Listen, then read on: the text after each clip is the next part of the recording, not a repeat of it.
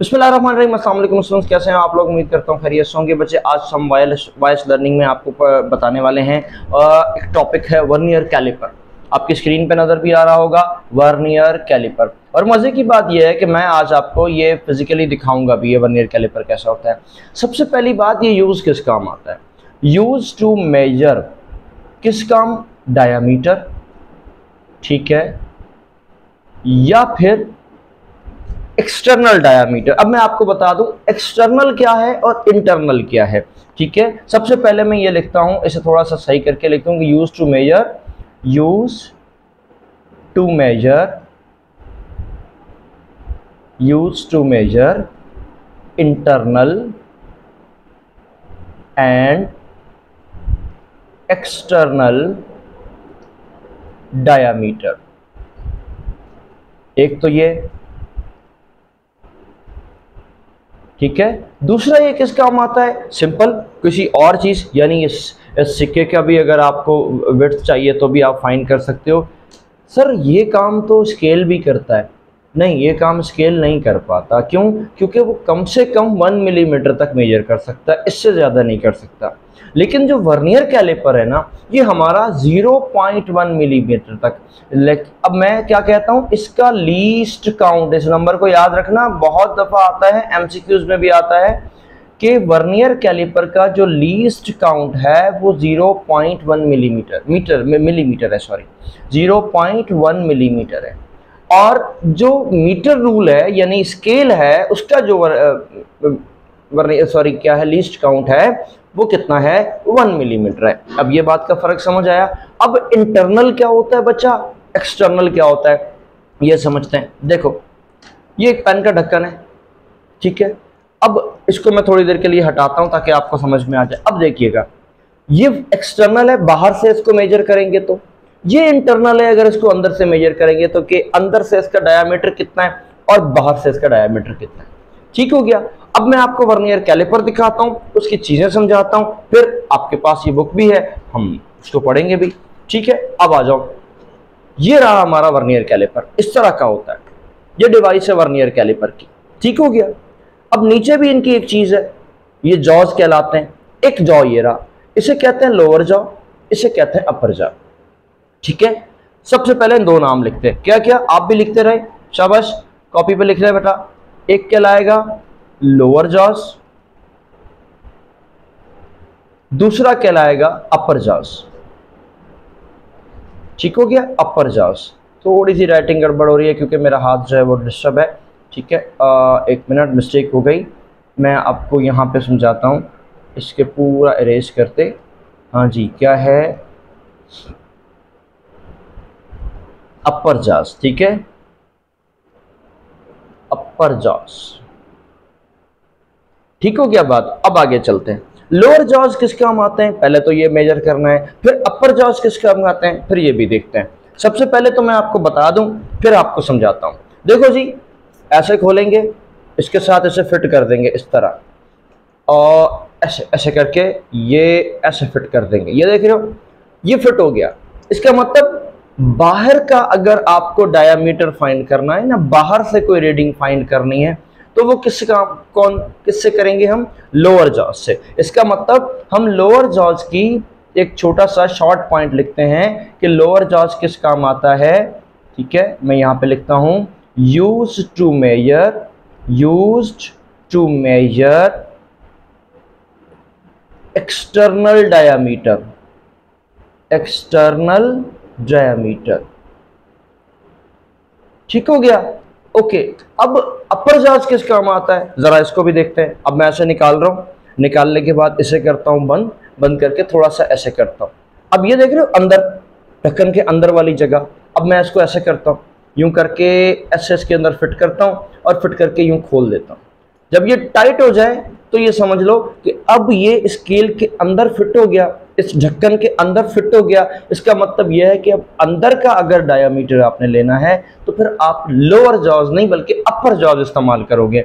तो upper jaws use to measure मैं फिर यहाँ लिख देता हूँ use to measure internal diameter कैसा, समझ आया कि नहीं आया?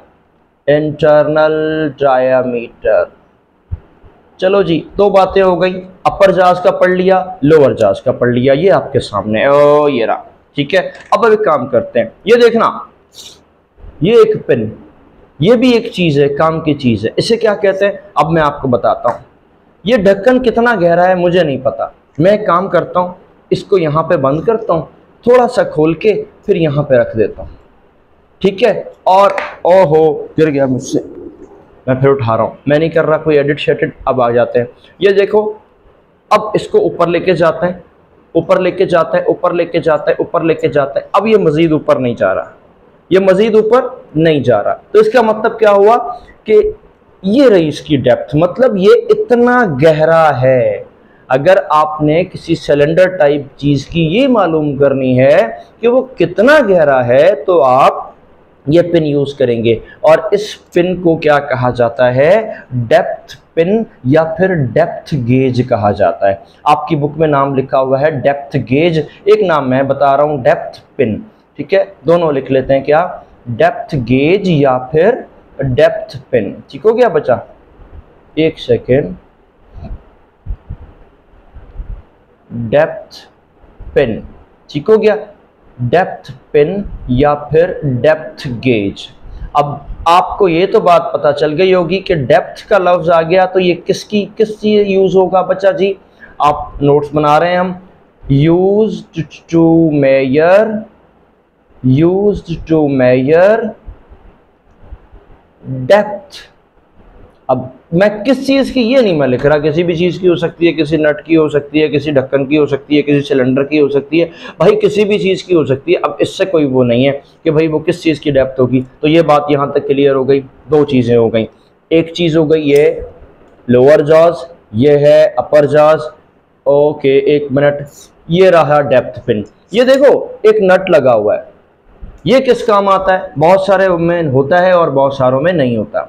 इसे हम कहते हैं फिक्स स्क्रू क्यों? ये देखो, अब ये ऐसे यूज़ हिलेगा। मिसाल के तौर पे, मैं इसके अंदर कोई चीज़ डालूं और ये पता लगे बाद में हिल जाए या मुझसे आगे पीछे हो जाए, अब क्या करूँ? तो फिर अब ऐसा करते हैं कि मैं इसको यहाँ से ऐसे टाइट कर देता हूँ। जब टाइट करूँगा तो ये नहीं हिलेगा।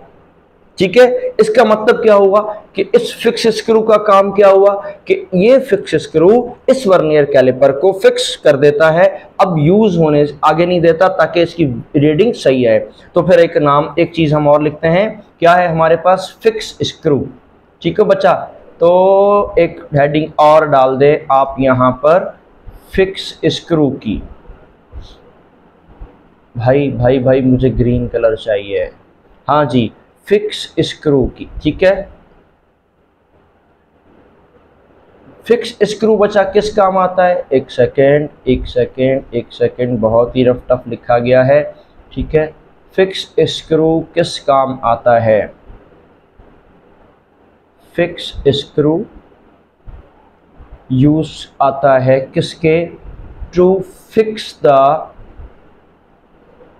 fix the vernier calliper for proper measurement. सही मेज़रमेंट के लिए उसे फिक्स कर देता है ताकि वो फिक्स रहे अपनी जगह पे। इतनी बातें क्लियर? बच्चा, अब देखो कि यहाँ पर दो स्केल भी है। देखो, अगर आपको गौर से नज़र आ रहा है, ये देखो। अगर आपको स्क्रीन में भी नज़र आ रहा है तो ये देखो, स्क्रीन में भी बने हुए हैं। एक छोटे वाला ये रहा वो छोटे वाला स्केल और ये रहा बड़े वाला स्केल दिस छोटा scale is called main scale sorry vernier scale और दिस बड़ा scale is called main scale again repeat कर रहा हूँ कि बड़े स्केल को हम क्या कहेंगे? मेन स्केल और छोटे स्केल को हम क्या कहेंगे? वर्नियर स्केल तो मैं यहाँ लिख देता हूँ कि हमारे पास कितने स्केल है जनाब? मेन स्केल ठीक है? और एक और स्केल है, वो कौन सा है? वर्नियर स्केल छोटे वाले स्केल को क्या कहते हैं? वर्नियर स्केल ठीक है? अब दो चीज़ें क्लियर हो गई. मेन स्केल भी आ गया. अब रिपीट करूँ जल्दी से. Lower jaws upper jaws depth pin fix screw बड़े वाले स्केल को मेन स्केल कहते हैं और छोटे वाले स्केल को वर्नियर स्केल कहते हैं. अपर लोअर जॉज आते हैं एक्सटर्नल डायामीटर के और लोअर जॉज अपर जॉज आते हैं इंटरनल डायामीटर के। दोबारा रिपीट करूँ लोअर जॉज यूज़ होते हैं एक्सटर्नल डायामीटर के लिए और अपर जॉज यूज़ होते हैं इंटरनल डायामीटर के लिए, ठीक है? डेप्थ यूज़ पिन यूज़ होती है किसी भी चीज़ की डेप्थ फाइंड करने के लिए। तो मतलब तीन चीज़ें हम फाइंड कर सकते हैं। एक्सटर्नल डायामीटर इंटरनल डायामीटर और किसी भी चीज़ की डेप्थ एक हमारे पास फिक्स स्क्रू है, जो कि इसको फिक्स कर देता है, और इसके पास दो स्केल हैं, एक बड़ा स्केल एक छोटा स्केल बड़े स्केल को वर्नियर स्केल कहेंगे और छोटे स्केल को उल्टा बोला। बड़े स्केल को मेन स्केल कहेंगे और छोटे स्केल को वर्नियर स्केल कहेंगे। आज मैं थोड़ा ज़्यादा जज्बाती लग रहा हूँ तो कोई नहीं टेंशन नहीं है। हाँ जी, अब इसकी अंदर, इसकी रीडिंग कैसे लेनी है? ये एक बात आ गई। सबसे पहले हम इसको फाइंड करेंगे और इसके अंदर फिक्स कर देंगे। देखो स्टेप नंबर वन क्या लिखा है? क्या कहता है? Place the object between the jaws ठीक है भाई। ये रहा ऑब्जेक्ट इसके अंदर हम रखते हैं। रखने के बाद, अब भाई, मैं थोड़ा सीधा कर लूँ। ये देखो, इसके अंदर हम रखते हैं और रखने के बाद ऐसे करेंगे, यहाँ से प्रेस करेंगे, फिर इसके साथ टाइट कर देंगे। ये आगे पहला स्टेप तो ये देखो स्टेप नंबर वन हमने पढ़ा कि place the object between the jaws number two note the main scale reading by counting lines before the zero lines of the vernier scale अब हमें क्या करना है कि मेन स्केल पर लाइंस काउंट करनी है, कितनी है? अभी तो मेरे पास अब कितनी है? आई थिंक टेन है। ठीक है? तो यहाँ पर मेरे पास वैल्यू क्या आ रही है? टेन लेकिन आपकी बुक में टू पॉइंट एट है तो हम यहाँ पर बुक के हिसाब से चलते हैं कि कितनी है? टू पॉइंट एट तो यहाँ पर कितनी है? टेन मेन स्केल पर जहाँ पर लाइन है ना, वो देखनी है। हमें कैसे पता लगेगा लाइन अब मैं आपको बताता हूँ। देखो, ये छोटे वाला जो स्केल है ना, जो वर्नियर स्केल है इसका ज़ीरो ऊपर वाले कौन से स्केल के साथ मैच करेगा? अगेन रिपीट करूँ, छोटे वाले स्केल का ज़ीरो ऊपर वाले कौन से स्केल के साथ मैच करेगा, कौन सी लाइन के साथ मैच करेगा, उसको हम मेन स्केल की रीडिंग कहेंगे। अगेन बोलो, छोटे वाले वर्नियर स्केल की ज़ीरो वाली लाइन बड़े वाले मेन स्केल की कौन सी लाइन के साथ मैच करेगी, वो कहलाएगी मेन स्केल रीडिंग ठीक हो गई? एक बात क्लियर दो दो पॉइंट हमने पढ़ लिए। ठीक है। और ये आ गई मेन स्केल रीडिंग 2.8 मेरे पास यहाँ पर वन आ रही है तो मैं यहाँ पर वन लिख सकता हूँ। सही है? Step number three count the next line of the vernier clear after coinciding the main scale अब ये देखना है कि कितनी लाइंस ऊपर वाले इस लाइंस के साथ मिल रही हैं। तो जितनी भी मिल रही हैं, वो हमारे पास क्या हो जाएगा? पॉइंट नंबर आ जाएगा। अब यहाँ पर क्या आ गया? ये वर्नियर स्केल रीडिंग आ गई। ये है जी 0.6 इसका मतलब ये कि कौन सी लाइन ऊपर वाली लाइन के साथ जाके मैच कर रही है को कर रही है? ज़ीरो के अलावा ज़ीरो के अलावा कौन सी लाइन ऊपर वाली लाइन के साथ मैच करती है? तो ये क्या कहलाएगा? 0.6 मिलीमीटर फिर आप दोनों को ऐड कर देंगे तो ये आपके पास रीडिंग आ जाएगी। ठीक हो गया? अब आगे आगे चलते हैं। आगे चलते हैं तो हमारे पास क्या आ जाएगा? हाँ जी, हमारे पास आ जाएगा। अब ज़ीरो एरर अब हमने एरर फाइंड करने अब एरर फाइंड करने के लिए क्या आ गई है, देखें, ये एरर आ गया हमारे पास। तो भाई, आपने क्या करना है? इसे करना है बंद। ठीक है? ये हमने कर दिया बंद। अब आपने देखना है वर्नियर स्केल और लीनी मेन स्केल कौन सा वर्नियर छोटे वाला। कौन सा मेन बड़े वाला। दोनों को मैच करो। अगर दोनों की ज़ीरो वाली लाइन आपस में मिले, पहले बोल रहा हूँ ज़ीरो वाली लाइन आपस में मिल जाए। ये देखो, मैं देखो, मिल रही है। नहीं मिल रही। थोड़ी सी गड़बड़ है, लेकिन मिल रही है। ज़ीरो वाली लाइन आपस में मिल जाए तो मानो कि इस वर्नियर कैलिपर में कोई एरर नहीं है, इसलिए हम क्या कहेंगे? Zero error. इसमें कोई एरर नहीं है तो ये क्या कहलाएगा? ज़ीरो एरर कहलाएगा, यानी इसमें कोई एरर नहीं है। ठीक है, आगे चलते हैं। फॉर एग्ज़ाम्पल अगर ये लाइन थोड़ी सी आगे रह जाए, थोड़ी सी आगे रह जाए थोड़ी सी, ठीक है? ज़ीरो से मैच ना करे, आगे हो जाए, आगे, इस तरफ़ राइट की तरफ़ राइट की तरफ़ हो जाए राइट की तरफ़, सही है? तो फिर हम कहेंगे कि इसके अंदर कौन सा एरर है? पॉजिटिव एरर है, ठीक है? कौन सा एरर है जनाब? पॉजिटिव एरर है। तो फिर हम क्या, हमें क्या करना पड़ेगा? उसे ऐड करना पड़ेगा, जो रीडिंग आएगी उसके अंदर। जितना एरर होगा, उसे हम ऐड कर देंगे। फिर तीसरे पॉइंट पर आपके पास आ जाएँगे, ऐसे बंद करो। फिर देखो कि अगर ये लाइन थोड़ी पीछे रह जाए थोड़ी सी पीछे रह जाए तो हम क्या कहेंगे कि ये कहलाएगा हमारे पास नेगेटिव एरर तो इसका मतलब वो वैल्यू हमें माइनस करनी पड़ेगी जो एक्चुअल रीडिंग आएगी, ये हमने माइनस कर रखी ठीक हो गया? तो तीन बातें हमारे पास आ गई। अब पूरी बुक को हम नहीं देख रहे, हम सिंपल बातें समझ रहे हैं। मैंने एक छोटी सी वीडियो बनाई है, बड़ी बनाऊँगा तो ज़्यादा हो जाएगी। ये हमारे पास वर्नियर कैलिपर इसका लीस्ट काउंट कितना होता है बेटा? 0.1 मिलीमीटर ठीक है? आगे चलें। ये किस काम आता है? तीन काम आते हैं।